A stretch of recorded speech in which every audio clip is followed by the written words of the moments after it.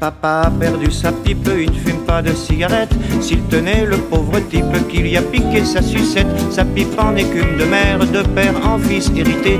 Papa lui la trouve amère, cette blague culottée. Il l'avait fait à sa bouche et pour que personne n'y touche, il la gardé sous la douche, la cachée dessous sa couche. On chercha partout en vain, jusque dans la cave à vin. Papa inspectait nos mains, pas de pipe, pas de pain. Mais nous on dépérissait à chercher cette pipe d'écume, ce bout de mer qu'il chérissait, nous plongeait dans l'amertume. Hippie pipi pourra, ne chante pas ça mon garçon, car la pipe de ton papa n'est pas pendue au plafond. Nom d'une pipe, je me dis tout bas, ça ne s'avale pas comme ça. Elle dit papa déprimé, n'est pas parti en fumée. Il voulait faire de l'esprit, il allait dire des conneries. Je le voyais arriver avec ses deux gros souliers. Maman pleurait à chaudes larmes, papa préparait ses armes, ma soeur jurait sur sa vie qu'elle ne s'en était pas servie. Une pipe disait papa, ça ne se perd pas comme ça, à moins que par accident je l'ai avalé en dormant.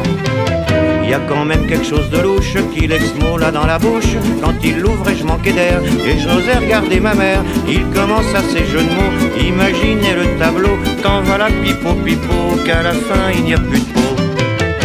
Savez pas, mes enfants, qu'il n'y a rien de plus délectant pour un fumeur raffiné qu'une bonne pipe après dîner. Dites-moi quel est le meilleur bois pour faire des pipes de choix. Le bois de bruyère, moi je ne sais pas. Le bois de Boulogne, nous dit papa.